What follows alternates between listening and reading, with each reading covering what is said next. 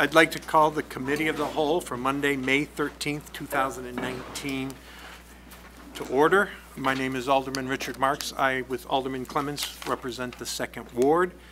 Um, We have a number of presentations tonight, and I think, Mayor, you you will probably start off.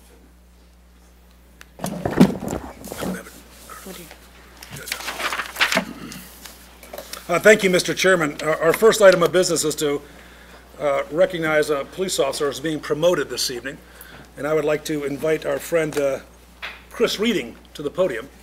Mr. Reading? Thank you.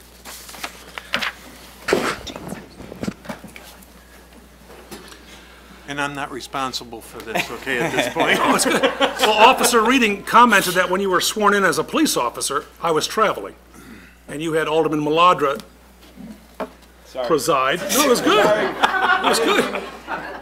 And remember, you sent me that email saying, "Who is Maladra?" Right. You have a fan base with you this evening. I do. Would you like to introduce your special guests? Uh, I have my father, my daughter Carly, my son Knox, my mother, and my wife Lindsay. Carly and Knox. Correct. Okay, the name Knox, man, where does that come from? Just liked it. It's, it, Nothing. I've never heard it. It's awesome.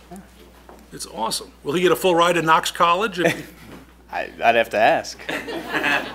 Maybe they'll tune in. Maybe. So how long have you been on board, officer? Uh, seven and a half years here. That was a year previous with another department. Right. And uh, what town do you claim your home? Uh, well, I, I grew up here, uh, so I guess this is always home. I don't currently reside here, but And, and you always graduated Geneva High School, may I ask what year? 2005. 2005. Those were good years, weren't they? They were. Yeah. Is there a statue of you at the high school? the big, the big Viking out front. Is that the No, one? I was, Oh, I was thinking of something more like in the men's restroom. So after high school, what did you do? uh, I went to Western Illinois, studied criminal justice. Which is really the premier institution in the state Yes, for building, developing cops. correct. And you always knew you wanted to be a police officer? I wouldn't say always. It was probably freshman and sophomore year that I kind of really started honing in on that. What was the uh, bell in the head that said, you know what, I'm going to do this?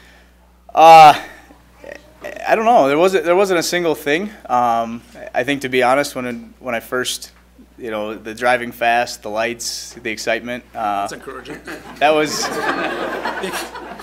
that was the that was the first thing that, that kind of attracted me to it. And Could have volunteered, for God's sake, for ESDA or something. if you wanted- No, we don't let them drive. That's true.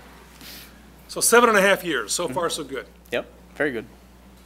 And uh, how's, uh, how's the family take it? Great. Yeah? Yep. Yeah, everything is good. Supportive. Uh, fortunately, I have the ability to, to let my wife be a mom, uh, so That's she nice. gets to stay home and with our kids, and Absolutely. things great. Uh, Dad, what did you do that helped build this young man to what he is today? Oh, you know, I taught him his golf swing is a very valuable tool. What is your handicap, officer? Uh, it's hard to say now. I don't because I work. I don't get a lot. I get I get out a lot, but uh, at its peak, it was it was scratch. Well, we still have the front page picture of Reading shoots back-to-back birdies against, Eagles or Eagles, I'm sorry, back-to-back Eagles against Batavia. against Batavia. Whoa. Wow, right. Now, did, did mom and dad have to pay for that article to be in, kind of like Lori Loughlin, or no? No, luckily uh, we we had uh, Dave Hune who uh, who wrote the sports articles, and, and Mitch was one of my teammates. So Oh, that's cool. What was your best round? uh, 65. Really, what course? Uh, Blackberry Oaks in Yorkville. That's a putt-putt course. The windmill and the clown and everything. Yep. Congratulations. That's exciting. What's your favorite set of clubs? What brand? Uh, I currently play Nikes. You do. Yeah, Are you sponsored by Nike? I'm not. I'd like to be. Other than golf, what do you do to unwind? Hang out with, of course, Knox and Carly and Sure. Mrs. Reading and Uh, work out, uh, try new restaurants. About it. Golf. Yard work. you still yard golf, work. though? I try to. Yeah. So there's a lot of people tuning in, as you well know, and of course, your team is behind you, Correct. as well as representatives from the fire department. What's your message to everyone tuning in about being a, a first responder, as it were, a public safety professional? One of the Um, good guys. I, I think right now, I, I think my message is is just understand that, that we have a we have a tough job job to do, and it's it's not always easy on the outside looking in. Um, and I think my, my biggest response is to let us let us do our jobs. You said the same thing to your golf coach, didn't you? Did. That didn't work out well. Mom, any comments? Nope, just very proud of him. Very proud. I'm very proud. Chris, uh, I have the honor of reading or administering the oath to you, and of course, as we spoke beforehand, if you'd like to invite anyone to join you while we do so, this is all about you.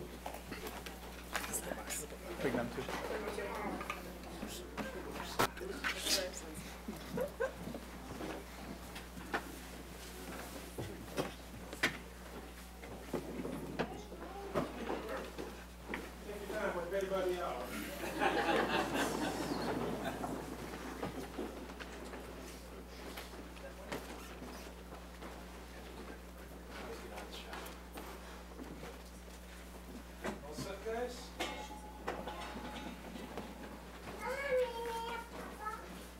Come on, Mimi and Papa, you want to come out? Oh, well, it's up to Chris, of course, right? Yeah. You guys are more than welcome. Anyone else care to join me? More than happy to come up. Right there, right there. I, I, I, I sense that you're going to be the chief of police. so- Raise your right hand, officer. And Please repeat after me. I, Christopher Reading, I, Christopher Reading, having been promoted to the position of patrol sergeant having been promoted to the position of patrol sergeant in the city of Geneva, county of Kane, in the city of Geneva, county of Kane, aforesaid, aforesaid, do solemnly swear do solemnly swear that I will support the Constitution of the United States, that I will support the Constitution of the United States, the Constitution of the state of Illinois, the Constitution of the state of Illinois, the Geneva Code of Ordinances, the Geneva Code of Ordinances, and that I will faithfully discharge the duties that I will faithfully discharge the duties of patrol sergeant of patrol sergeant according to the best of my abilities. according to the best of my abilities. Congratulations.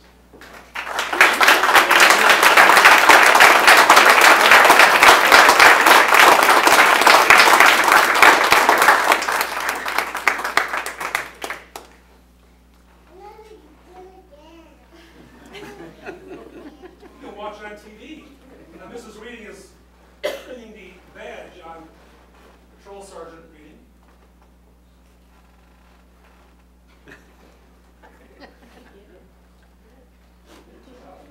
Congratulations. Ladies and gentlemen, Sergeant Reading.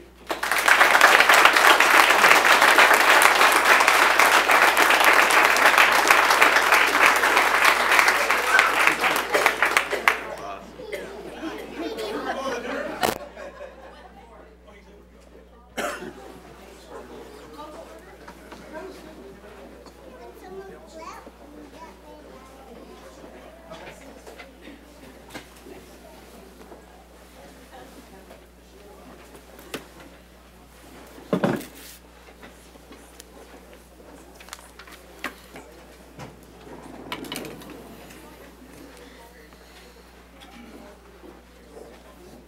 Mr. Chairman, can you just announce who's absent? Oh, okay, that's fine, thank you. Bruno Kilburg. Yep, just one order of business that I didn't do ahead of time. Alderman Bruno and Alderman Kilburg are not present at the meeting. All the other aldermen are. Mayor, I believe we have one other, another presentation. We do, Mr. Chairman. It's my pleasure to introduce to the uh, Committee of the Whole tonight, those in attendance and those tuning in, uh, my good friend Tracy, who has a presentation this evening on the Be Smart program, a program that uh, I believe all of you will benefit from, all those tuning in will benefit from. And It's my honor to welcome Tracy to the council. Hi, everyone. Welcome. How do I work this? Right, Yeah, just double click that. this? No. Is there a mouse up here? Oh, I didn't see that. Gotcha. Okay, here we go. Let me get this open.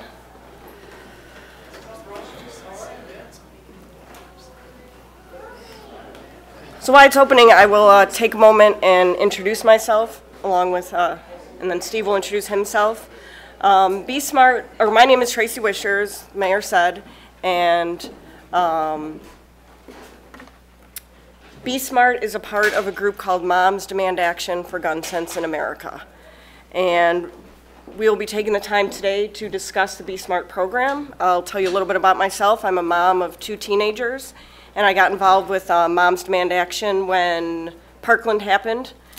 I have a, my son was a junior at the time, and he came home and we were talking, and we live in St. Charles, and he said right out, I don't feel comfortable going to school tomorrow. I've never felt that way, Mom. And we just had a, you know, like everyone, sense of hopelessness, helplessness, what could we do? And over the next month, I stumbled into Moms Demand Action after doing some research online. And then after attending for a few months, I became involved in the program Be Smart. So that's what we're here to talk to you about today. Hi, I'm Steve McHugh. I live here in Geneva, and I work as a senior vice president for a market research company. And uh, I got involved in the Be Smart and the Moms Demand um, program mainly because I have, for a number of reasons, but mainly, mainly because I have two daughters who work in schools. Uh, one is a teacher, one is a speech pathologist. And also, I grew up in a home that had loaded and unlocked guns, which is a lot about what this program is about and we'll be talking to you about. Great. Spacebar. Thank you. Um, so as I said, we're here to talk to you about this program. I'm going to jump right in with some statistics for you. Um, firearms are the second leading cause of death for American children and the leading cause of death for black children. As this slide shows you here, nearly 1,500 American children between 0 and 17 are killed every year with guns. That's an average of four a day. Um, when American children are killed with guns, the majority of these deaths are homicides, about 53%.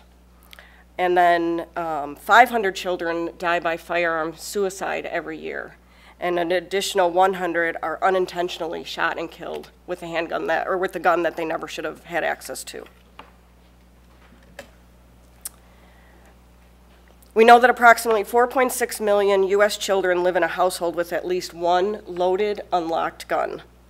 While school shootings and mass shootings typically make national headlines, the reality is that for children under the age of 13, gun homicides most frequently occur in the home, and those, of course, may not make the news as big as the mass shootings do. One study showed that nearly 90% of unintentional shooting deaths and injuries among children under the age of 15 also occur in the home.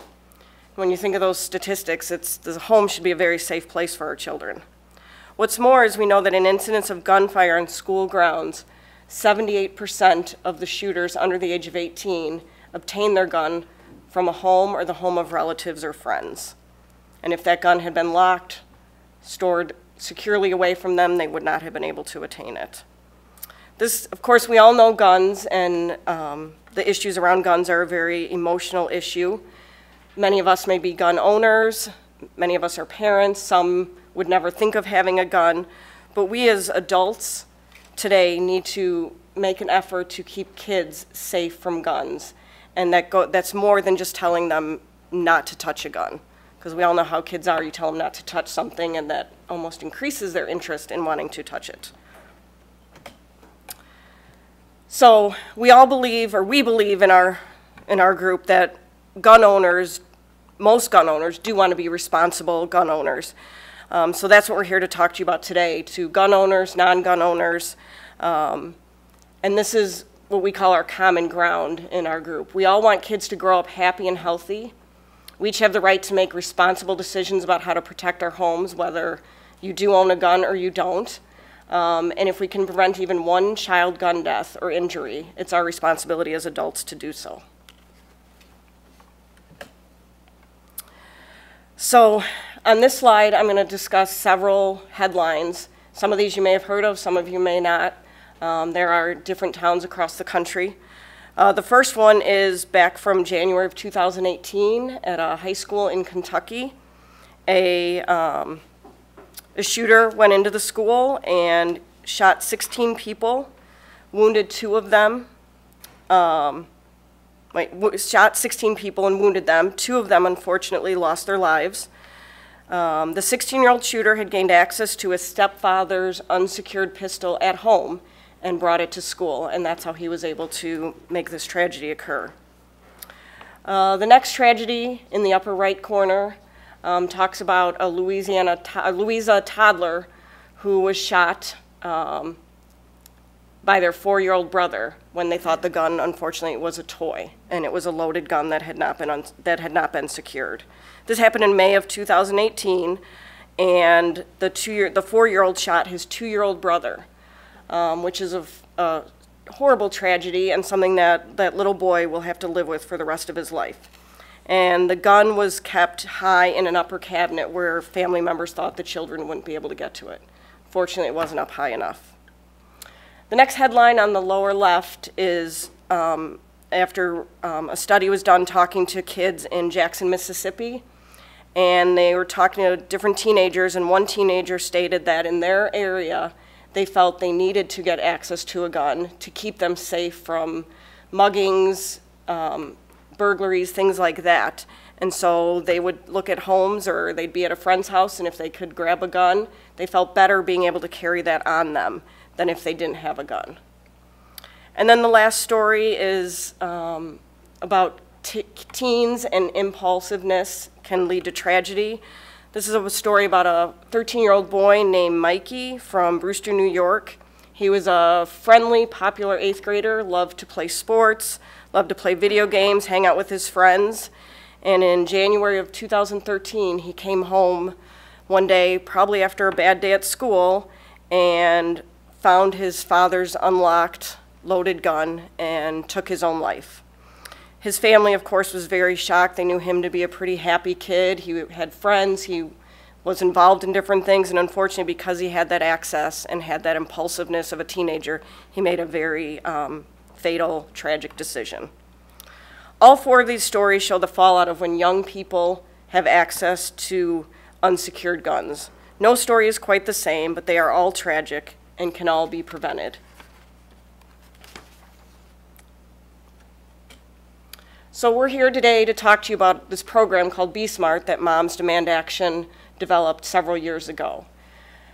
They looked at all areas of what I just talked about and, and decided on these five points that we will discuss with you. And um, I'll just do a quick overview and then Steve and I will go into each, each of these points to give you a better um, idea what it all involves. So stands for secure your guns, model responsible behavior, ask about unsecured guns in, in other homes, recognize the roles of guns in teen suicide, and tell your peers to be smart. So let's start with the S, which is secure all guns in homes and vehicles. 13 million households with children contain at least one gun. And the majority of children in gun owning homes know where their parents or the adults keep the gun. And we already know that in incidents of gunfire on school grounds, many kids find these guns at their home, and that's how they're able to bring them to school. Um, the tragedy that unfolded in Marshall County High School is one of those that we talked about, where the kid was able to get a gun from a, his family or relative's home and was able to bring it to school and uh, cause that tragedy. So, securing guns, what does this mean? Like uh, we saw in that other story where the family put the gun in a cabinet. Unfortunately, it wasn't high enough, and a young boy could reach it. So, securing guns means locking them um, with ammunition stored separately, but locking them in a secure safe that either has a lock, a combination. Um, a lot of them can have fingerprints now, but storing these away so that only the adults have access to it. Because as we all know, kids don't always listen to what parents and adults say and are going to touch a gun. So this would, if the guns are locked or loaded, locked and, and stored safely, the kids will not have access to it.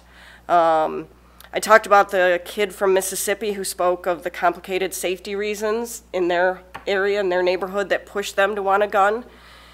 Um, keep in mind that, that kids feel a variety of emotions around guns, and like I said, from curiosity to fascination to fear. And unfortunately, sometimes that curiosity overtakes the fear, and finding a gun um, is not going to prevent them from using it. So that's where, if the, the research we've done and, um, and studies and talking to many families and people locking them like this, this way is going to be the safest for everyone involved.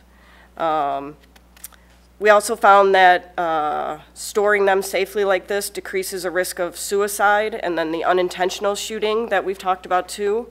One study shows that households that locked both firearms and ammunition had a 78% lower risk of self-inflicted firearm injuries among children and teenagers and an even 85% lower risk overall. And of course, that was involving adults. So the way to keep your gun locked and stored safely, like I mentioned, is uh, cabinets, storage lockers. There's cables that you can use, a firearm safe. Um, my husband is a gun owner, and we have a safe um, that he has the code for, and no one goes near that. that my kids are teenagers. They, they do not have any interest in um, using the cabinet. And my husband also has taken my son out to teach him how to safely use a gun. Unsecured guns can also contribute to a staggering number of guns stolen each year. So this is another reason for keeping them locked, not only to keep them safe from the children, but if your house is broken into, the gun will not easily be taken if it's locked away. Um, this number is staggering of 38, 3, 380,000 guns are stolen from private gun owners every year, and unfortunately they get into the wrong hands at that time. And so, um, like I said, keeping them safe this way, locked in a storage container lo or a locked safe, um, st uh, storage cabinet, and with a lock that only the adults have access to is really going to help prevent um, a lot of these unintentional um, gun deaths along with the, the shootings that we hear with kids getting their hands on and suicide. So from here, I will let Steve take over and uh, jump into the M. Thank you, Tracy. So the M in SMART stands for Model Responsible Behavior. So every law-abiding citizen has the right to choose to have a gun in their home. But they also, with that right, they also have a responsibility to keep kids safe, keep it out of um, not accessible to a young child who might accidentally find a gun or a teen who may be uh, purposely looking for a gun. Uh, so it is the adult's responsibility on that. As Tracy showed on the previous side, the majority of kids uh, know where the parents store their gun, and in fact, one third of them claimed to have played with the gun or approached the gun without their parents' knowledge. Um, kids are curious, and it's the adults, adults' responsibility to keep them safe. Um, in fact, kids who have gone through a week-long gun safety training were no less likely to approach a gun or play with a gun than those who did not. Again, they're curious and they're approaching the guns. Um, but you can't be with them all the time. If, even if you're safe, um, with the guns. You can't be with the kids all the time. So you need to have that conversation with them on how to stay safe. What happens if you do come across a gun accidentally or, or otherwise. And we do have a handout to talk about this. The A in SMART is to ask about unsecured guns in other homes. So again, you can't be with them all the time, and maybe they're going to a friend's for a party or uh, a sleepover or what have you. Um, so we want it to be the kind of conversation that you would have in any other safety situation. So if your kids are going to a party, your teen or young child is going to a party or somebody else's house for something, what are some of the kind of things you would ask, guns aside, what are some of the kind of things that you would ask? This is the interactive part of the presentation. So, anybody, uh, what kind of things would you ask? Peanut allergies, exactly. Parents going to be home? Parents going to be home, who's going to be home, right? What other kids are going to be there? Exactly. So those are the kinds of questions you would ask if, um, if they're going to be driving anywhere, you know, who, who is going to be driving? Are you wearing seatbelts? Do you have car seats? Those kinds of questions. Uh, so we would like those kinds of, um, of uh, questions to, uh, to be out there. And to be able to ask these safety questions, ask about a gun in the home. Now, this can be a little bit awkward at first to ask, you know, do you have a gun in the home? So if it's less intimidating to you, you can text or email. The R in SMART is recognizing the role of guns and suicide. So let's just go uh, through a couple of points here. Uh, most people who attempt suicide do not die unless they use a gun. Unfortunately, guns are very effective in suicide. 85% of suicide attempts with a gun result in death, a much higher fatality rate than any other means of self-harm. Unfortunately, two of my friends I went to college with had sons who uh, committed suicide with, uh, with a gun. Uh, this contributes to the fact that 40% of child su suicides involve a gun, and nearly half of those who survive a suicide attempt report spending 10 minutes or less thinking about it before the actual attempt. It can be a very sudden thing. It doesn't have to be um, yes, this child was depressed for a long time, and maybe we saw the signs. It could be something very sudden. I broke up with uh, my boyfriend or girlfriend. Um, I did a dumb thing and uh, that I shouldn't have done, and now it's all over uh, social media um, or whatever. Um, these are the things that we have to be aware of. And as kids get older, we have to be more and more deliberate and aware of these kind of things and making sure that guns don't get in their hands. Some more statistics, a survey, uh, CDC, um, Centers of Disease Control survey of high school students found that 17% had seriously considered attempting suicide within the last year. That's almost one in five. Um, one study showed that 41% of adolescents in gun owning households report having easy access to the guns in their homes.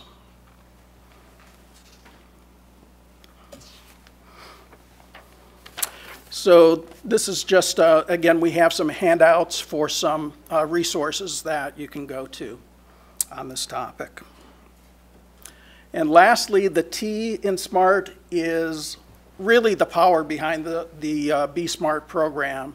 Uh, to tell your peers about this. You might have heard some things that resonate with you or things that you can share uh, with friends or family in all of this. And research shows um, that law enforcement, military, hunting, or outdoor groups are particularly effective at communicating uh, safe storage practices. Um, we all want to keep uh, people safe.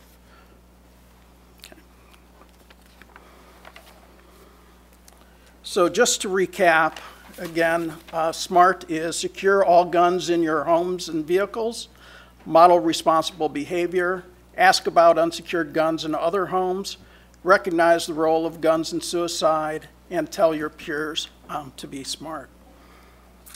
So thank you for having us here today, and uh, we're available for any questions that you might have afterwards. Well, Thank you. Thank you, but are there any questions now? I mean, from, from the dais? Anyone from the audience that has any questions? That was a great presentation.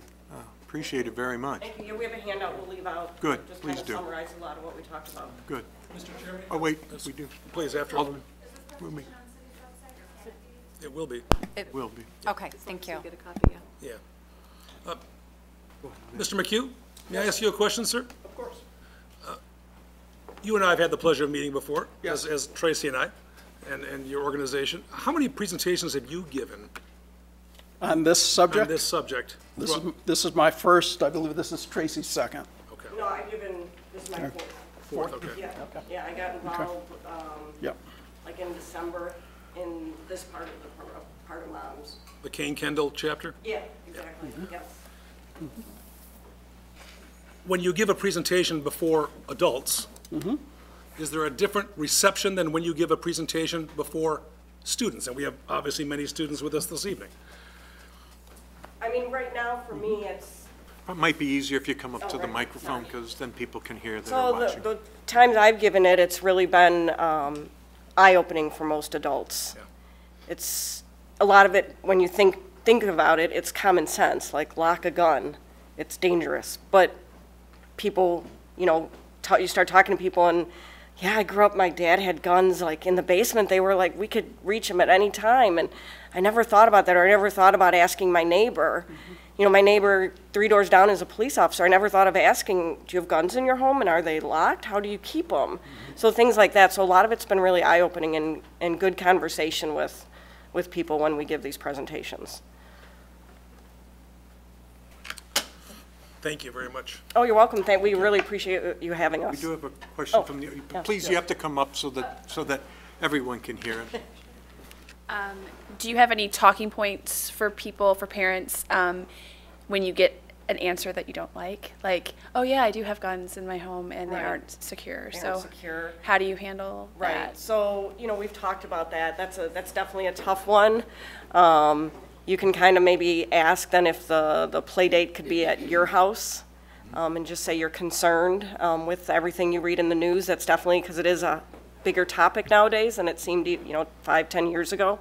So that's what we've talked about is, is maybe, you know, changing the venue of where you're gonna have the kids hang out and just explain why you're concerned. And then maybe that will give the people some, some thought as to maybe it should be stored. Maybe it should be locked and kept safer. Yeah, and like within the presentation, it's, it's part of any other safety kind of thing. No, we don't have car seats for the kids, okay? You Right. know, I'm not comfortable with that, or, you know. Right. Thank you very much. Thank you so much. It Oh, you're welcome. Thank you. I do appreciate it. Uh, The next item on the agenda is to proclaim May 2019 as Mental Health Awareness Month. I will read the proclamation um, that the mayor has asked me to, and then I'll need a motion and a second to vote on it. Um, Whereas mental health is essential to everyone's overall health and well-being, and whereas all Americans experience times of difficulty and stress in their lives, and whereas prevention is an effective way to reduce the burden of mental health conditions, and whereas mental health conditions are real and prevalent in our nation, and whereas with effective treatment, those individuals with mental health and other chronic health conditions can recover and lead full, productive lives. And whereas each business, school, government agency, healthcare provider, organization, and citizen shares the burden of mental health problems and has a responsibility to promote mental wellness and support prevention efforts. Now therefore, Kevin R. Burns, Mayor of the City of Geneva, Illinois, do hereby proclaim May 2019 as Mental Health Awareness Month in Geneva and call upon all citizens to recommit our community to increasing awareness and understanding of mental health, the steps our citizens can take to protect, protect their mental health, and the need for an appropriate and accessible services for all people with mental health conditions. Motion by Swanson, second by Clemens. Any questions regarding the motion? And I will. I'll put no- Um, If there are none, uh, all in favor, say aye. Aye. Any opposed? Um, We do have uh, Cheryl Johnson from Tri-City Family Services here today. Uh, I don't know if, to, to accept the proclamation from the mayor, and if you have some comments, please, feel free. Yes, thank you very much. I'm, uh, it's a pleasure to be here and an honor to represent Tri-City Family Services. I'm the current president of the Board of Directors. And um, Tri-City Family Services has, uh, as you know, some of you celebrated 50 years of service to this community. Um, We are very happy to do that. Um, Each year, we see more and more people. And, uh, you know, please go to our, our uh, webpage and, and you'll get a full report from us as to everything that we've done this year. And it's been um, particularly uh, helpful for people today to understand that mental illness is the same as a physical illness. You know, they're not siloed into two different parts of your body. You know, if you want to, you have to treat your broken leg, you also have to treat depression. So um, I think, you know, just an awareness and the, of the um, destigmatization of mental health is really important. And um, I think we see consequences of the lack of good mental health services everywhere we look today. So I think we're very fortunate in this area to have the services that we do. Tri-City Family Services accepts insurance. It also accepts Medicaid. And we also have a sliding fee scale for those that are on, uh, not on any of the above. Thank you. Any, any questions? Alderman Hruby. Just a, a quick question. You mentioned that you've seen more patients this year. I'm, I'm curious, I, I could see that as a positive or as a negative. I'm curious for your, your view on that. Great question, Alderman, and it is both. So um, uh, you're absolutely right. We're seeing again a- a greater awareness, uh, uh, you know, more people seeking services, and so we see it as um, a positive. That people know that we're there, that, that we're here in the county, and of course we see from all over the county. And so um, we think that it's a, a positive step in the recognition of being able to treat mental health. Thank you for your question. Any other questions? Mayor, do you, would you like to present this? I would also just like to briefly say I had the privilege of serving on the 708 board in Geneva for several years. And I just want to compliment that 708 board, that group of people on there under Susie Sugar are just fantastic. And they take their job very seriously and do a lot of research as well as just the other parts of that, that board. Thank And with that segue, if I may, tomorrow evening, the Mental Health Board is sponsoring a community health forum uh, as part of the Kennedy Forums on the Table Your Voice Matters event. So tomorrow at 7 PM, there is a mental health event that we invite everybody to come out and share uh, and help make aware for mental health. Our executive director, Laura Poss, will be here tomorrow night. Great. Can we get a picture with, Oh, sure. you can airbrush my side if you want to. This is the most awkward podium in the history of the world. Show that. How's that?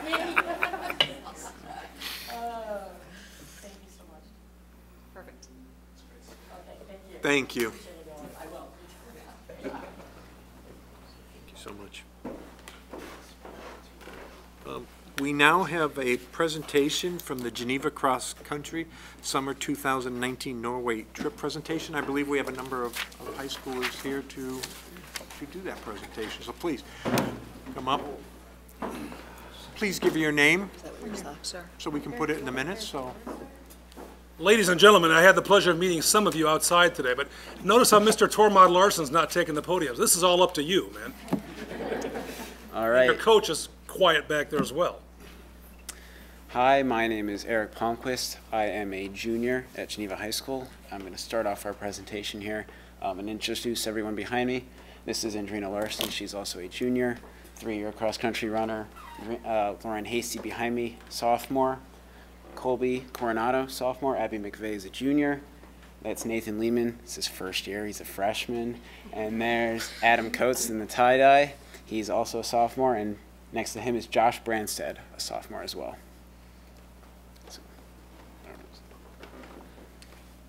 All right.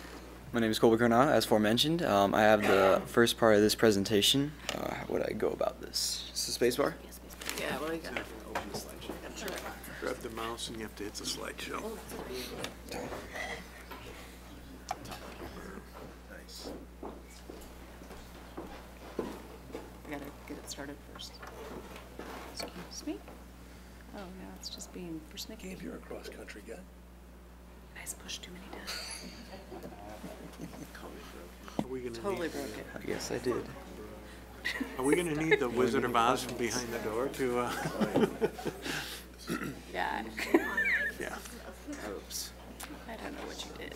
All right, Colby's not coming. Yes, here comes, here he comes. Thank you, Peter.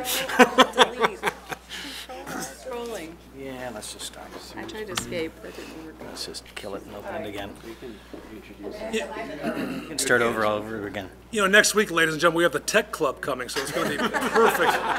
There you go. There we go. Arrow There we keys go. buttons. Now it's spacebar. All right. So I have the introduction part of this presentation. The Geneva Vikings cross country team will be um, going to Norway and many of its wonderful cities um, on the days of June 10th through 27th in the summer of 2019. Um, while this is not everyone for the Geneva Vikings cross country, country team, a few of us have self-funded the trip um, with some help from our parents, but um, some of us had done it on our own um, to raise the money to go to Norway.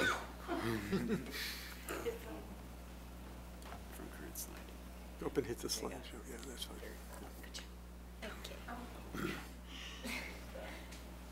Okay. All right, so we will be traveling to Norway, um, one of the many great uh, countries of the Northern Europe area. Um, for the days of June 11th through 17th, we will be traveling to Oslo and experiencing many of the great things that the city has to offer.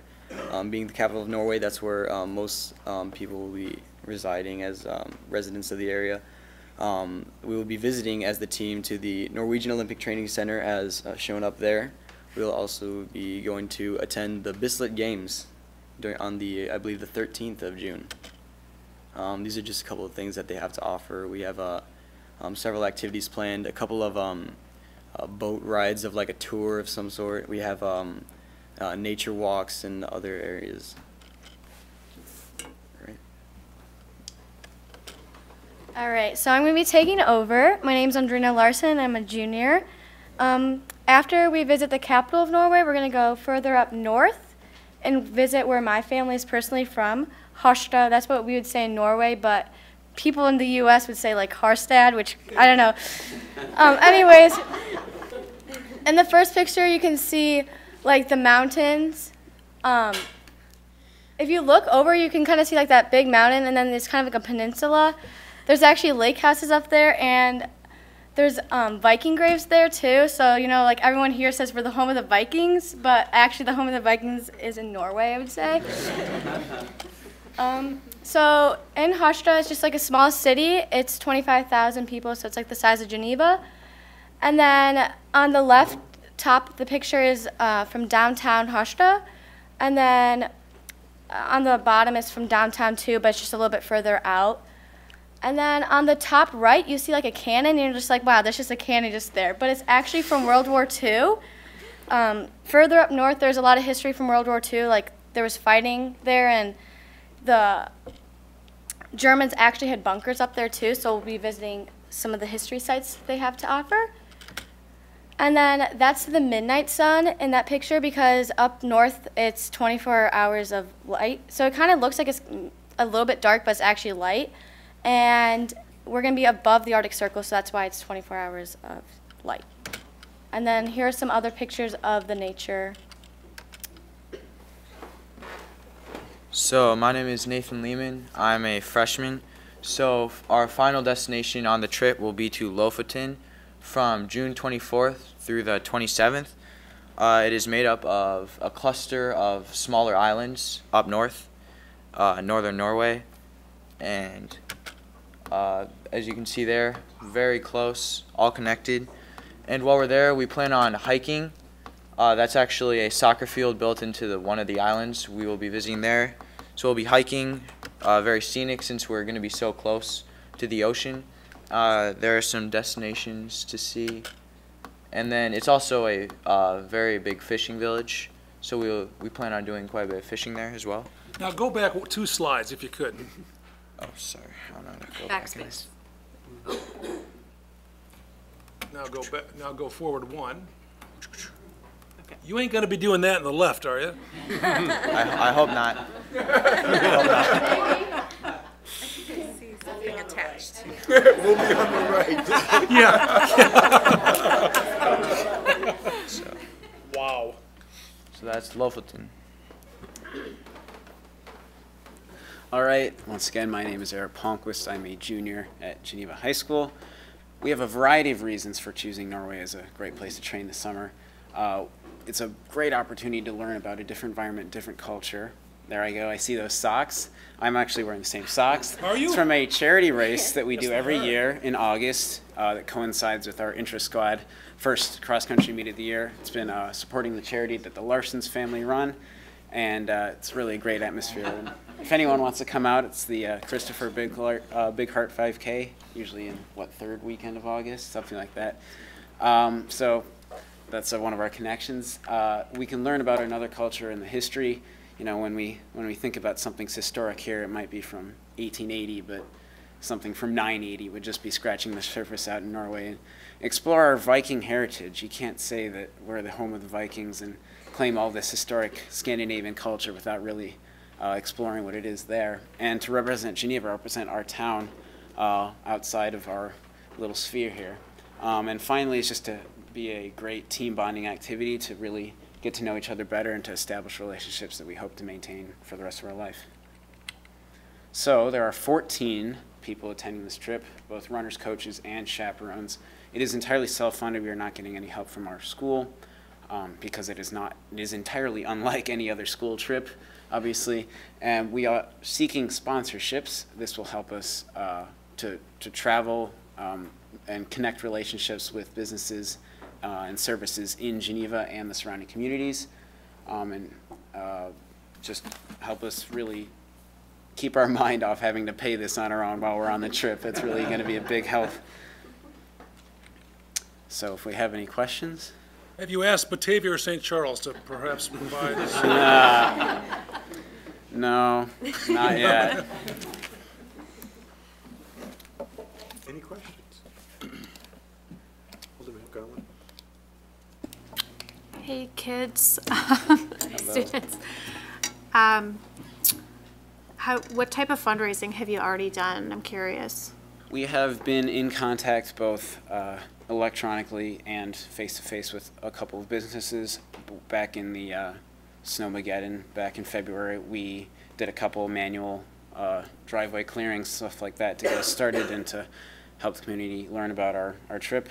Um, and, and we're just going to keep the ball rolling and, and as we're all connected and really understanding and getting our, uh, our schedule down, we can start to understand the needs of what kind of funding we'll need as far as different, uh, you know, a lot of the, I'm sure everyone knows Norway is not a cheap, cheap country to do anything at all. So this is something that, uh, that the average trip for students about $2,500.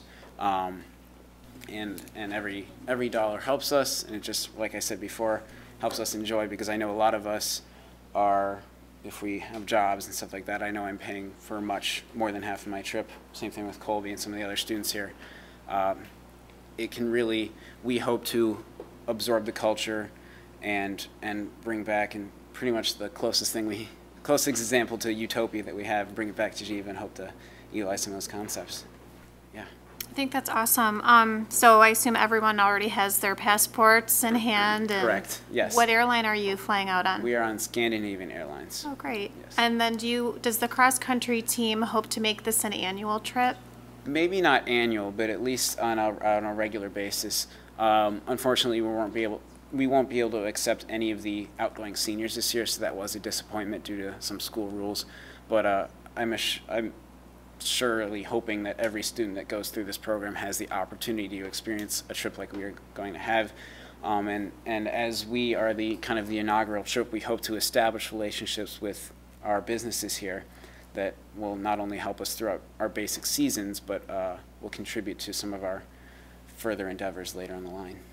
And one last question, are you going to meet up with any other cross-country teams from Norway? Yeah, we hope to. We are uh, right now in the process of making connections with some of the other teams there, uh, learn how they train and, and teach them how we train, um, and, and hopefully they'll be some of our guides to the awesome trail systems that are around in the area. That's so cool. And definitely ask Scandian, Scandinavian Airlines for a big donation. Yeah.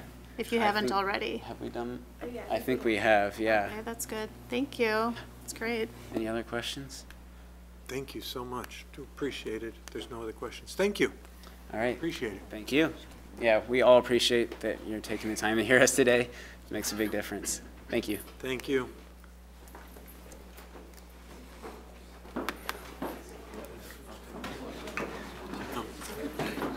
Then the next presentation, which is going to be a little hard to follow after the other know, ones. I I know. mean, Trust it's me. from the Union Yes. Pacific Metra Third Main Line. um, Project update. So we will be getting an update on the uh, third rail. I know, this is a tough one. You, now you got to follow. Uh-oh. Oh, there it goes again. Ah, here, c- here he comes Didn't do to it. solve it one more time.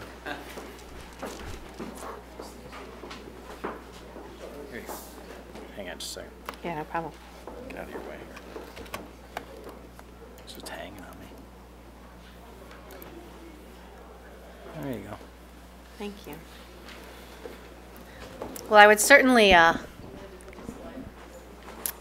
yeah, what's it? It looks like it's playing something. Is that?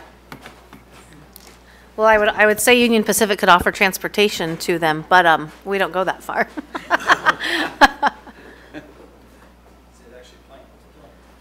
It looks like it's playing, but rather than doing a slideshow. Luckily, it's very brief, so. What is it doing? Oh, did you guys have a video before this thing? No? There, There we are. thank you. Well, good evening. I'm Liisa Stark, Assistant Vice President of Public Affairs for Union Pacific Railroad. Thank you so much for the opportunity to be here this evening to give you an update on the Metra Union Pacific Third Mainline project, which I think several of you have heard about over the past few years. And the project, I think, probably may be new to a couple of you. So to start, I just wanted to um, to give you kind of a primer on Union Pacific's Metra operations in Chicagoland. And the, what this first slide really represents is just an overview of the three lines in around Chicago where Union Pacific actually operates the Metra service. So we have the Union Pacific North Line that runs from Chicago up to Kenosha in Wisconsin. We have the Union Pacific Northwest Line that runs from Chicago out to Harvard. It's the line that I ride to Barrington um, most days when I'm in my office. And then we have the Union Pacific West Line, which runs from downtown Chicago out to Elburn and obviously passes right through right through Geneva. Um, in particular, the West Line sees over 100 trains a day. I'm sure you're very familiar with the, the heavy volumes that we have on that line, which are really a mix between both commuter trains as well as the Union Pacific freight trains. So we um, entered into a public-private partnership with Metra back in 2008 to do a variety of improvements along this line. And one of those improvements that we are embarking on is adding a third main rail coming through um, the Geneva area and then again out in the, the Maywood Melrose Park area. And let me pull this map up. There we go. Um, and as you can see on this slide, we are actually triple tracked except for in two critical locations, one being from West Chicago to Geneva, the other being from the border of River Forest to Melrose Park, where we only have two lines in place there. So what you see with our rail traffic that's coming in and out of downtown Chicago to Elburn and points on onto the west is we're triple tracked in certain areas. We go down to a bottleneck of two tracks, we go back to three tracks, and then we go back to two tracks, which that really creates issues when we have uh, backups on the line or we have um, you know, an issue with a Metra train or a mechanical issue, we don't have the ability to get around that and keep our traffic moving fluidly. So what we're doing is adding 1.8 miles of additional line um, for that third track, as I mentioned, um, from the border of River Forest to Melrose Park. That project is underway currently. We are actually anticipating that that will be complete by end of September. We'll continue to do some additional signal work out there, but we, we anticipate that that pro- portion of our project will actually be in service by the end of this year, so we'll start seeing some benefits from that. And then specific to Geneva, which I'm sure you're the most interested in, we're adding an additional 6.1 miles of third mainline track from West Chicago to Geneva, or a better way for you locals to to picture where that would be, it's from Kress from Kress to Peck Roads is where that third mainline track will be installed. We are right now in the final stages of um, our acquiring the properties that we need for that from a variety of property owners in Geneva. I know we're also have been having um, discussions with, with the city in regards to some needed properties for that as well. We do anticipate that in July, we will put that project out to bid, and we're hoping to award the project sometime in the second or third quarter of 2019. And we have probably a- you know, with that award timing and obviously winter coming, coming upon us um, at the end of this year, we probably will be looking realistically at a construction start time of um, second quarter of 2020. And we do anticipate there's going to be about an 18 to 24 month construction window for that project.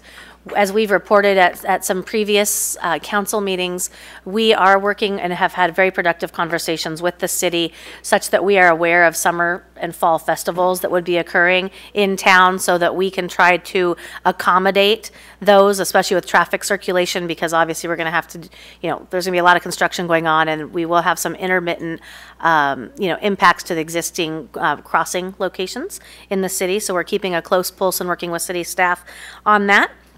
Um, and I mean, for the most part, we're about, we're moving forward in the permit process. We have one more permit to get from the Corps of Engineers for the project that we anticipate is coming any day now. We're checking our, checking our inboxes for that. Um, but, you know, we have, um, obviously worked with the city for, I've been working on this project for three and a half years.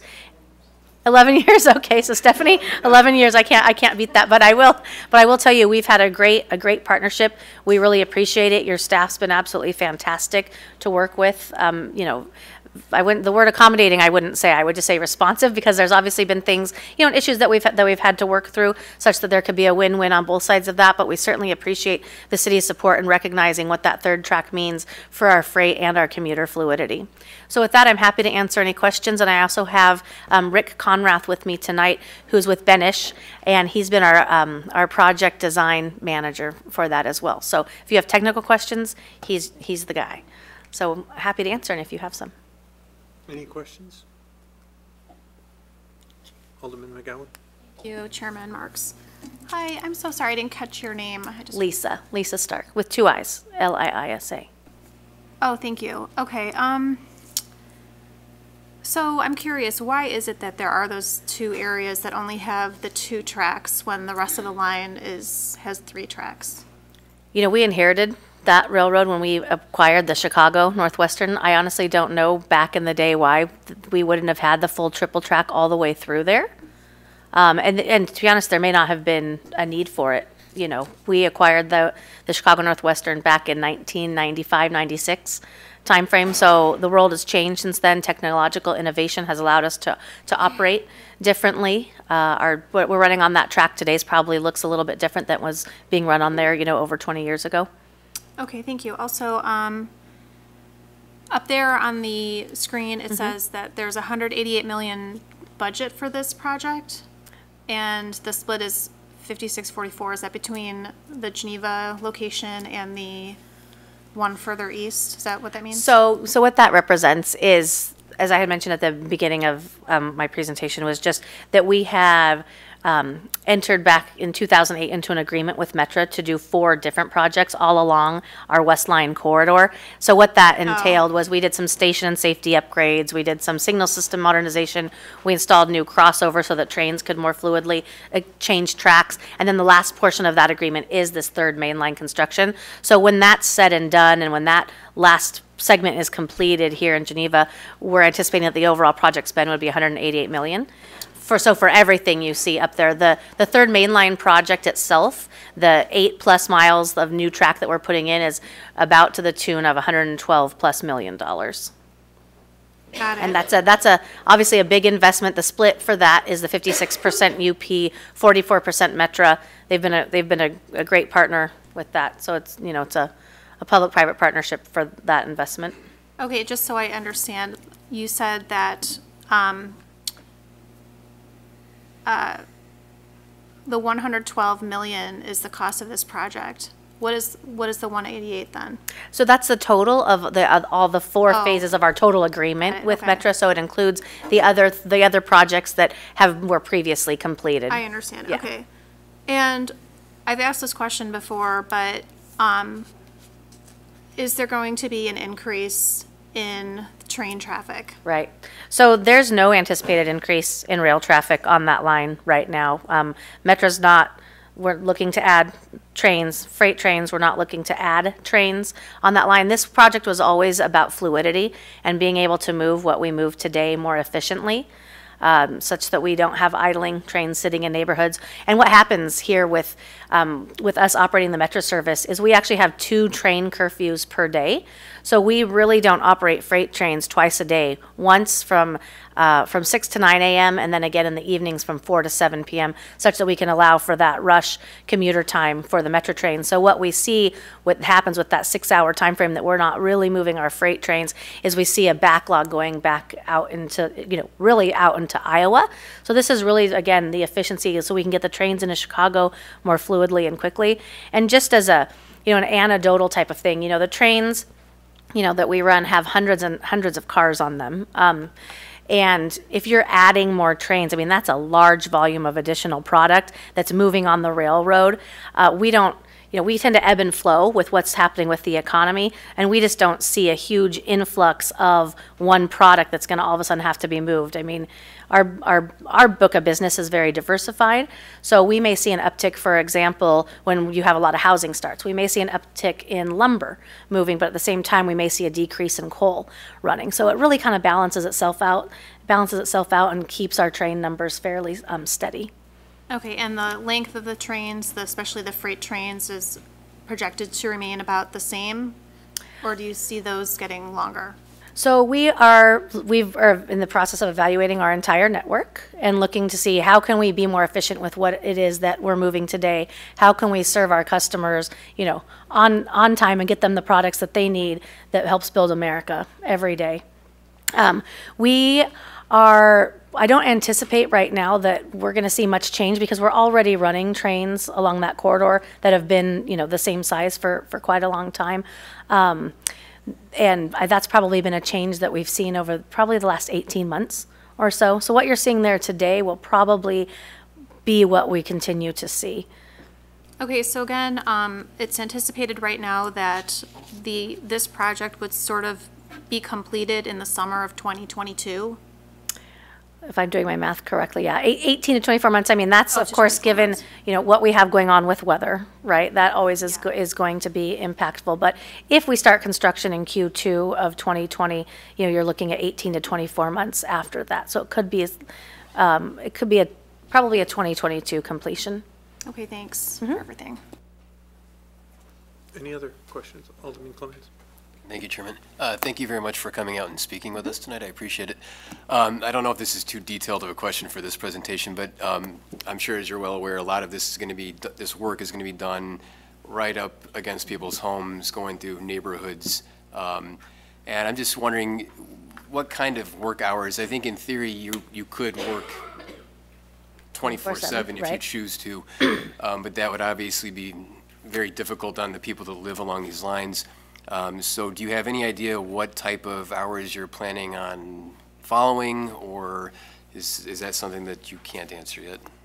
Well, we'll be able to, I mean, that will be more definitive once we get a contractor on board and they do it. But I can tell you, we've been doing all the work on the, the eastern segment on that during regular daytime business hours. We have not had any conversations about that changing. Obviously, you know, that is impactful, especially if people are, you know, trying to sleep. So we have to do it with, obviously within the windows that we can get it, you know, get in there and actually do the work. I don't know, Rick, if there's anything to add to that. I, uh, I would say probably just, there may be certain times, like when th- we have to set beams across Route 31. That would, that will be dictated by the Department of Transportation when you can close the highway and things like that. But by and large, I think it would be daytime. And the same, same with the river crossings, they have to do it when, you know, when that can be done, so. Okay. All right. Thank you. Any other questions? Alderman Burghart?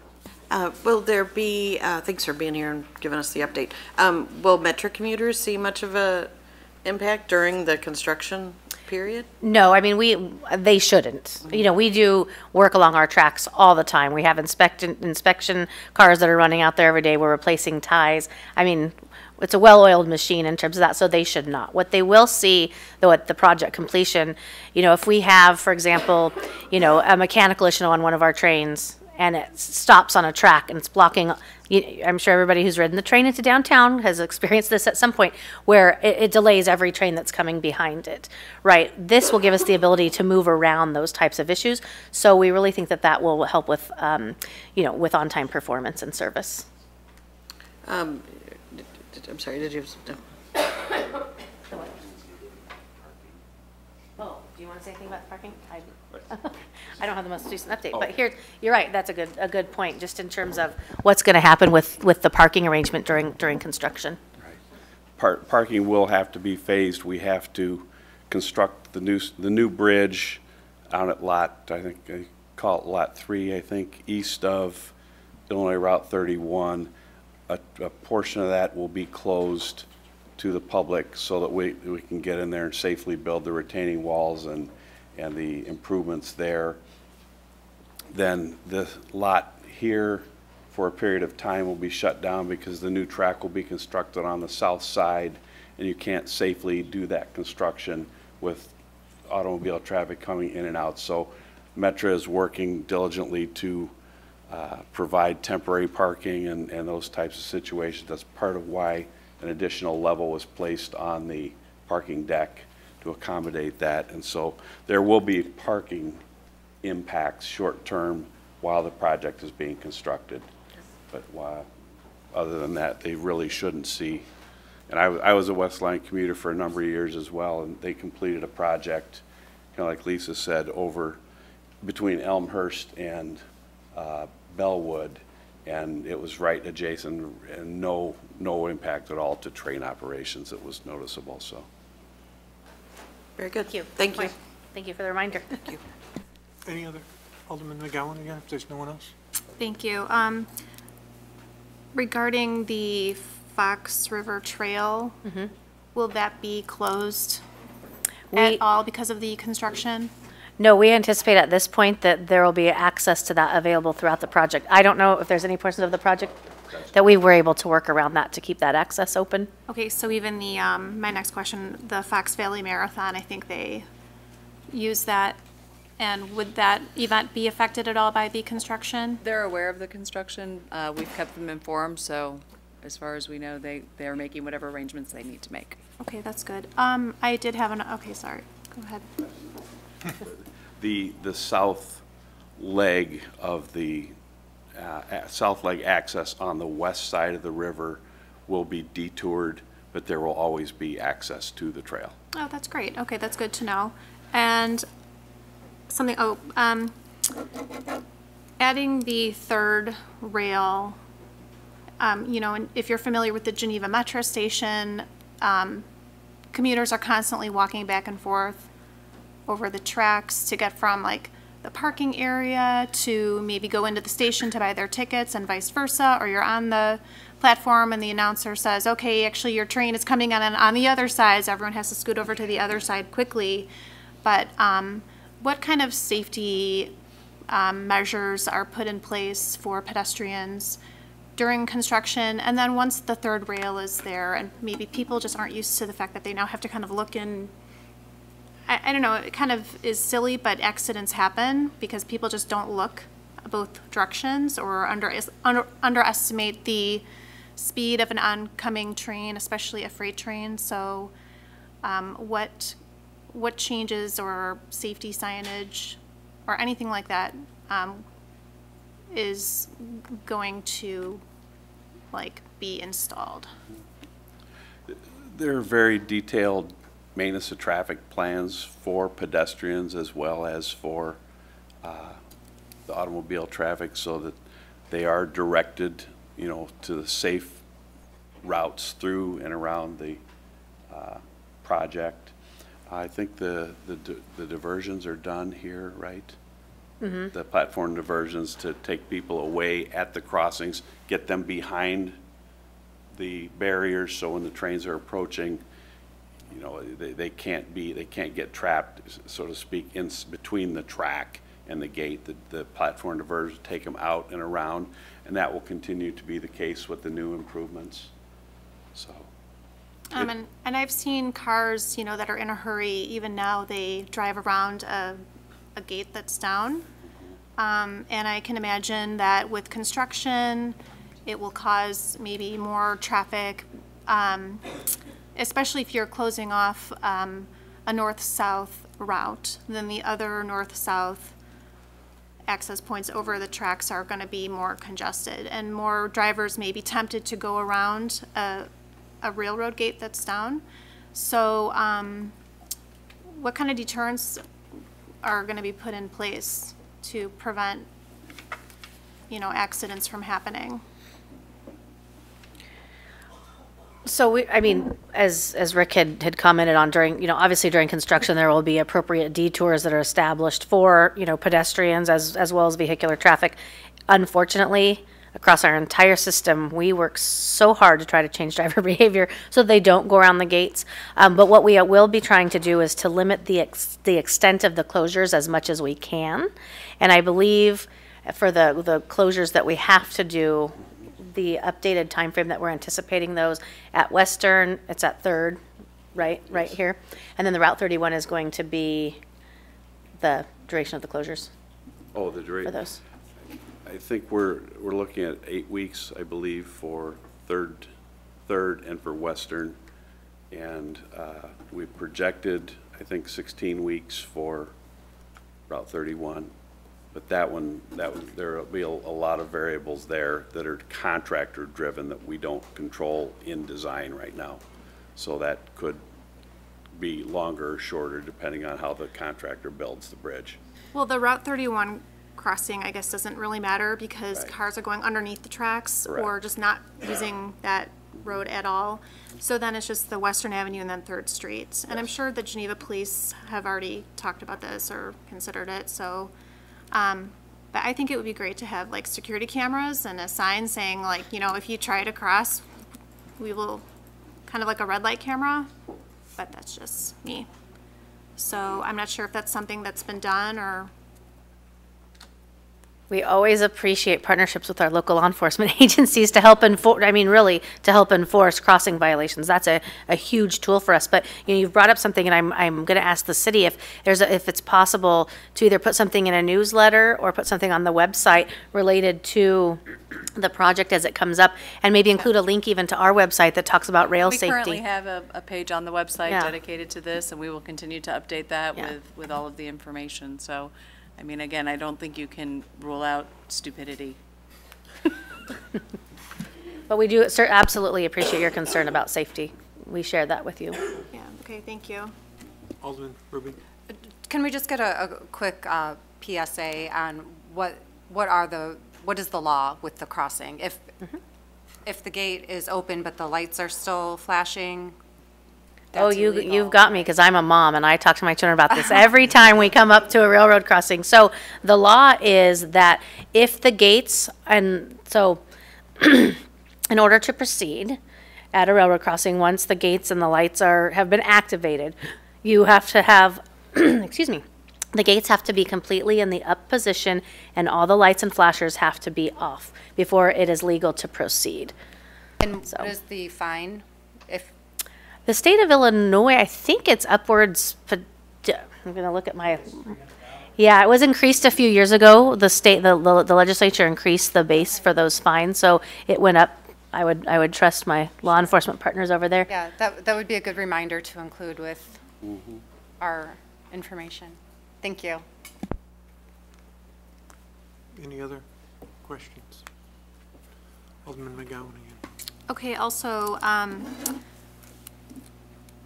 what about, like, people know they're not supposed to stop on the tracks, you know, in a traffic backup? Sometimes a driver will anticipate that there's enough space, but now with the, all of the traffic being condensed more into, onto, um, two out of these three crossings, with one either Route 31, um, Third Street, or Western Avenue being closed. Um, you know, I could see more drivers thinking they have enough room, but then all of a sudden traffic comes to an abrupt halt, and then their, their car is kind of stuck, either fully or partially on the tracks. So, do we already have signage, um, saying like, do not stop on the tracks?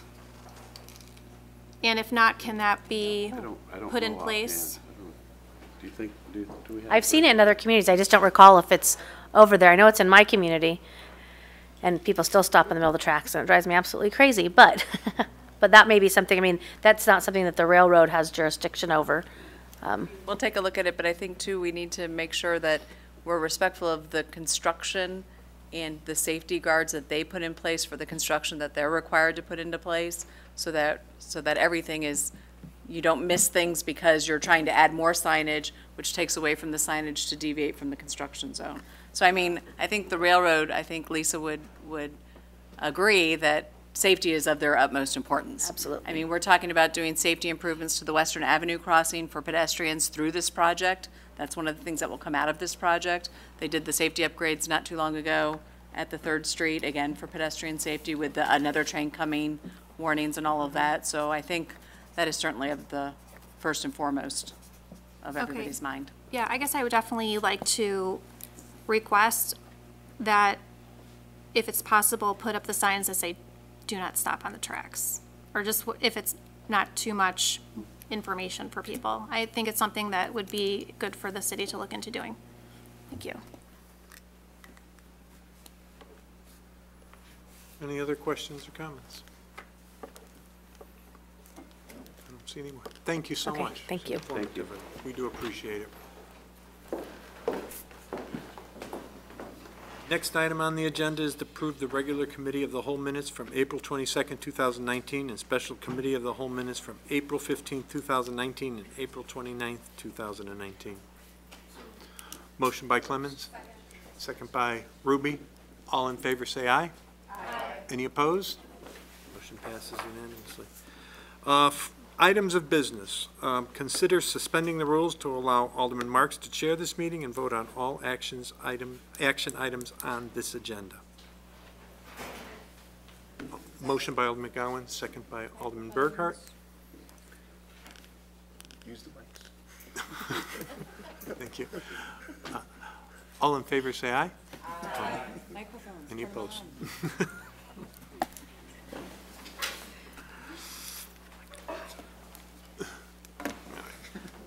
Um, The next item is 4B, consider draft resolution to sell surplus publicly owned properties for the gross amount of 646,813, including compensation for temporary construction licenses on parcels A, B, and C to Union Pacific Railroad Company.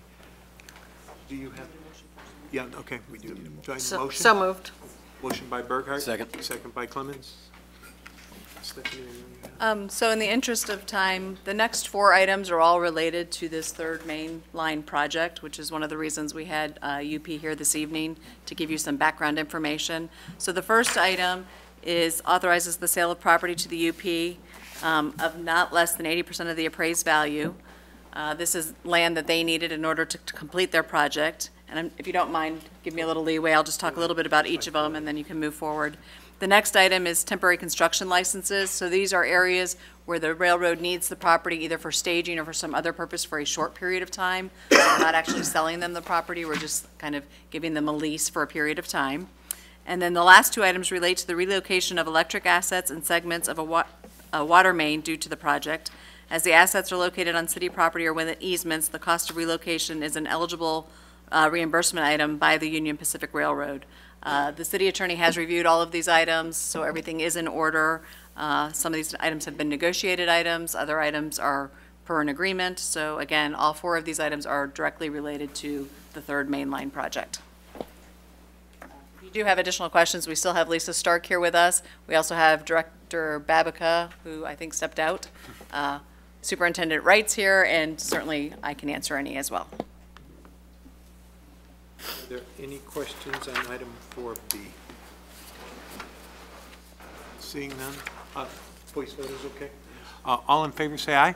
Aye. Aye. Any opposed? Passes unanimously.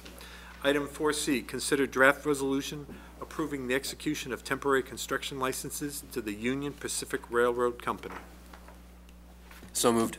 Motion by Clemens. Second by Alderman McGowan. Um, Any questions, comments? Hearing none, seeing none. All in favor, say aye. Aye. Any opposed? Unanimously again. Item 4D, consider draft resolution authorizing execution of a reimbursement agreement between the Union Pacific Railroad Company and the City of Geneva in the amount of $373,048.86 to relocate certain electric division assets between South Third Street and the Fox River. Uh, Motion, please. So moved. Motion by Burghart, second. Second by Swanson. Comments, questions? I guess a question for Hal. Go ahead, Alderman Burghart. Um, Is there any benefit to this, what we're doing? Is this, we're only doing this because of the railroad project, or is there any benefit we're getting? That's pretty much the whole of it. It's, it's almost hundred percent due to the railroad works.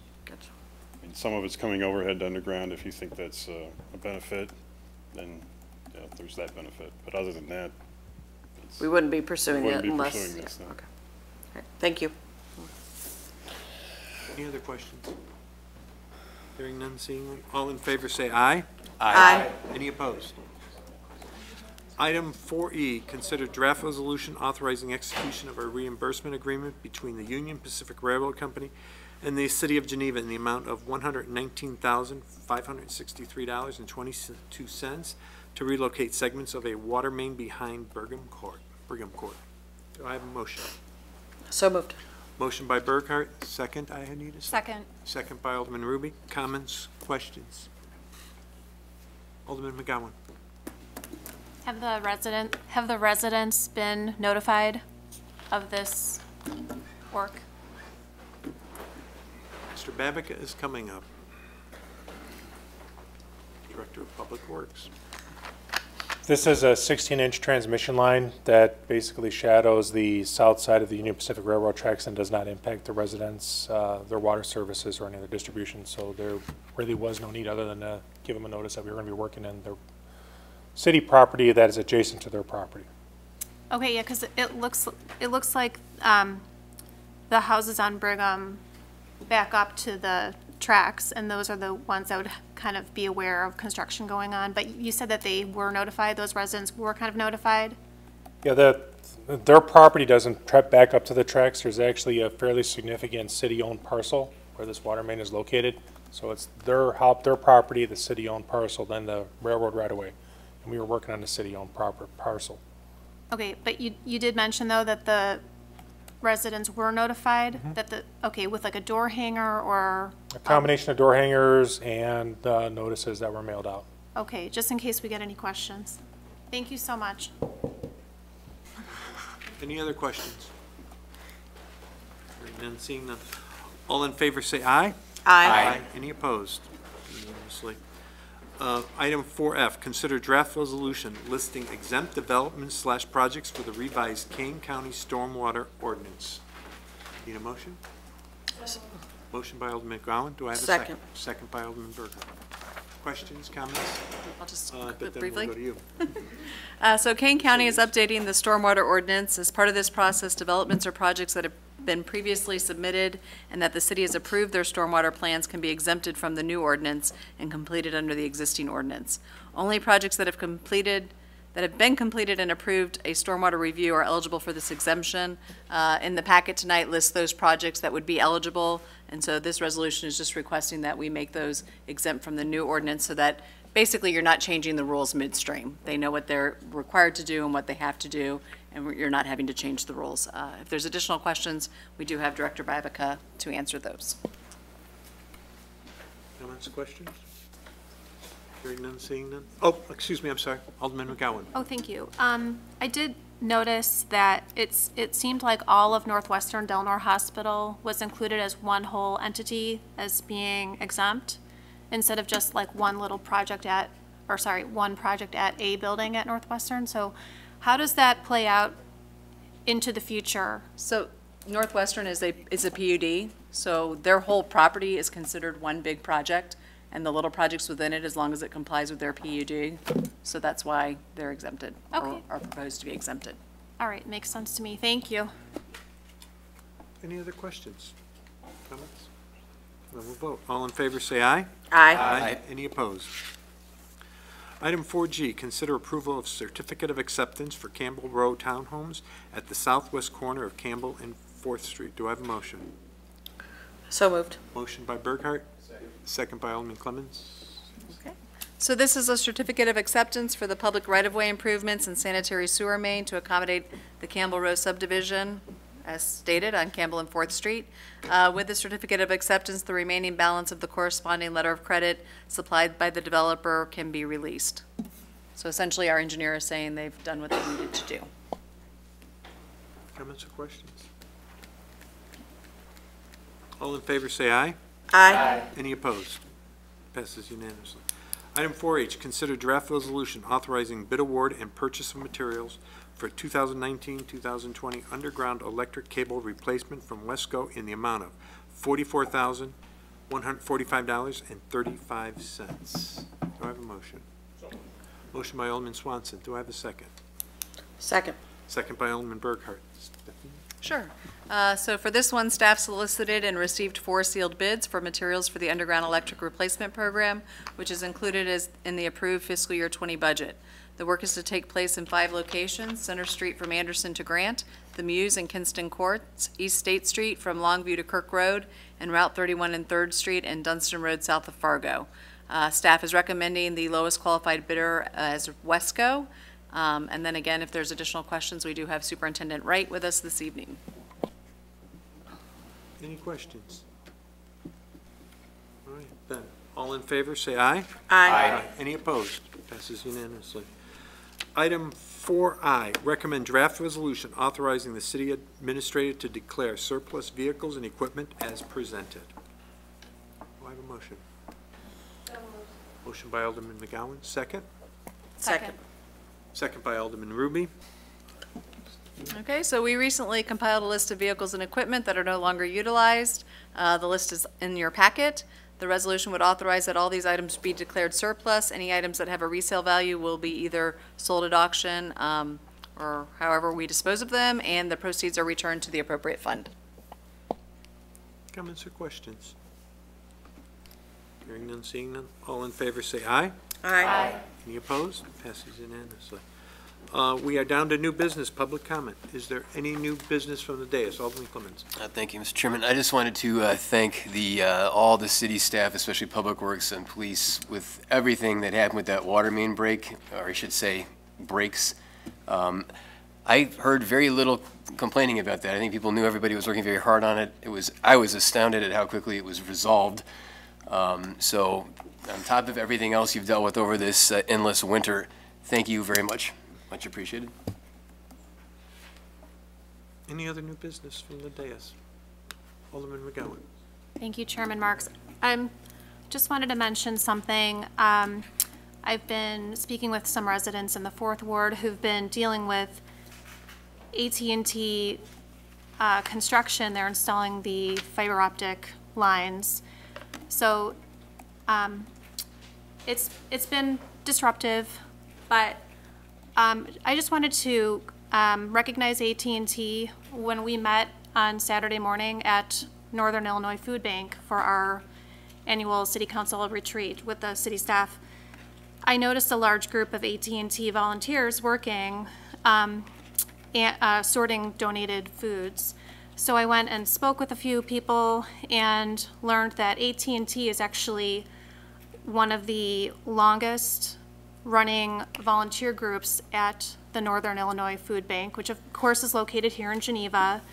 Some of the volunteers I spoke with had been our AT&T employees, and they've been coming every Saturday for over 20 years. So it's really quite impressive. Uh, the ladies I spoke with don't even live in the area; they live maybe about 45 minutes to an hour away. So, um, and the woman that I spoke with, who was a who was at the front desk of the food bank, said that AT&T is by far the biggest volunteer group that um, comes and helps with the sorting of food at the food bank. So I just wanted to mention that I think it's very commendable of AT&T employees to do that. So they are giving back to the community. So thank you. Thank you. Any other business or comments from the dais? Any from the public? Please come forward. Uh, Name and address now. Sure, sure. Hi, um, thanks for having me. Uh, my name is Sarah Schaefer. I live at 2837 Miller Road in Geneva. Um, we've lived here about a year and a half. So, um, somewhat new residents, but I'm from the area, or not from the area, but have lived in the area for almost 20 years. Um, I actually had a question about one of the things about the Western Avenue thing. Is that, should I have asked it back then, or can I still ask about it?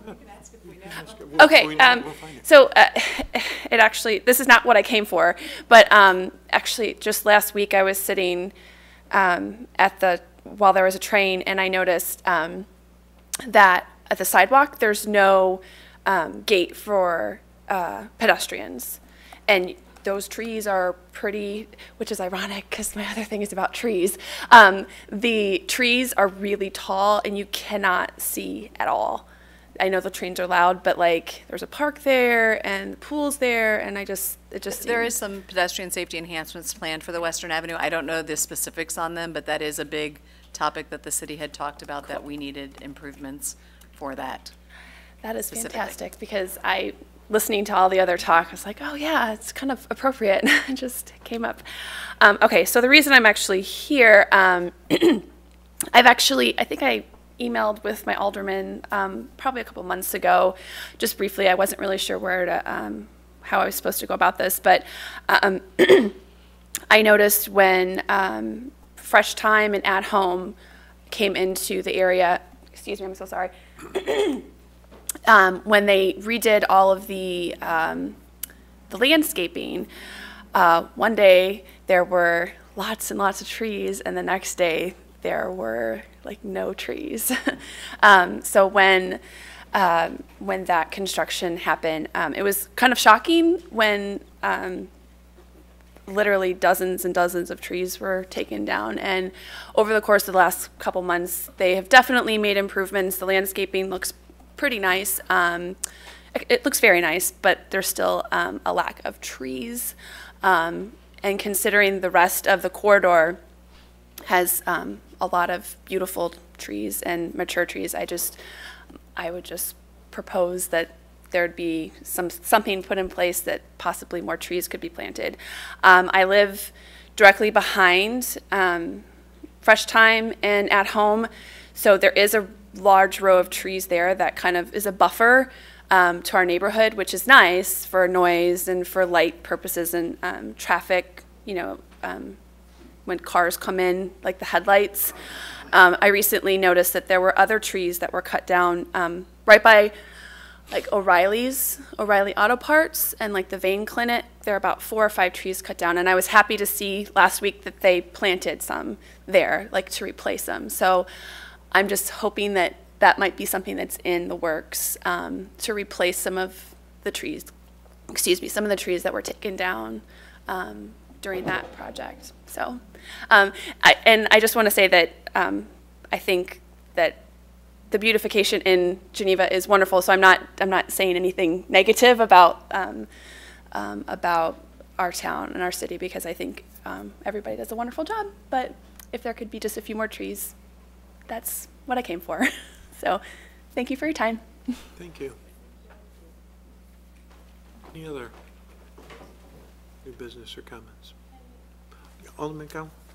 Is it appropriate for me to reply to that briefly? Yeah. Okay.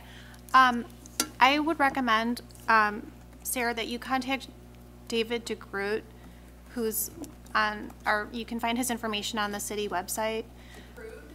Um, it's DeGroot, and I can write down the name later or after the meeting for you, but he can do the best. I can kind of reiterate some of it, but he can um, explain really, really well the pro- um, the trees that were cut down.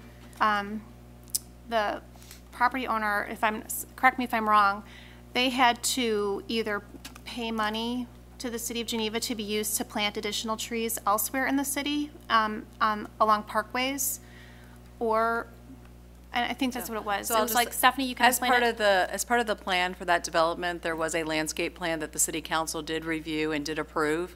And with that, the removal of the trees was approved, but they did have to pay into the tree fund or plant additional trees. There's, it depends on the type of tree and the class of tree. Um, So, so if you need more information on that, David DeGroot is certainly the appropriate party. But there was a, a landscape plan that came along with that development. And so by removing the trees, they can't just remove them, they actually had to either plant certain other plants or pay into the tree fund. If I need to come up here. Um, So they're not necessarily planting trees in the area, they're just planting trees in Geneva? They- What they do is they contribute to a tree fund so that the city can then plant tree, uh, Oh. trees elsewhere. Elsewhere? Yeah. Okay, so, So, but they, but they had to have a landscape plan and it had to be approved by the council and that was all so done. it's not a city of Geneva area, it's like their, uh, their property? Correct, it's Okay, property. so that's helpful to know. Yep. So then they're just gone. Yeah, but I think, I think as, as time goes, you'll see that some of the plantings that they plant will mature. And, and, and yes, it's not going to be your high trees Yeah. because And I understand why they removed some of them. Visibility. For the visibility, I totally get it, because they were really, really large, but, um, okay. Well, that answers, at least answers my question, so, thanks. Thank Part, and part B of my comment was, um, I'd be interested in just asking the property owner if they would maybe consider putting in some trees. That wasn't a part of the original plan, but the landscaping that's in there is very low to the ground. And, um, I don't think, you know, it can hurt to ask, like, would they consider planting some things in? The residents really miss the trees. A lot of those residents are their customers. And it wouldn't be something that totally blocks the view of the stores. People know that the stores are there. But I think there could be like a compromise if they would just be willing to consider that. I think it would be nice. I'd be happy to ask them myself if I'm able to get their contact information. So, just something, exactly. There's all different sizes of trees. So I think it's a really wonderful um, thing to ask. And I'm glad that you came to the meeting tonight. So thank you for your comments. Thank you. You're welcome. Any other business or comments? Hearing none, seeing none, I need a motion for adjournment.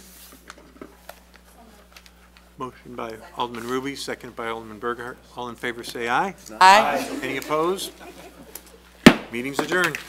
Microphones are off.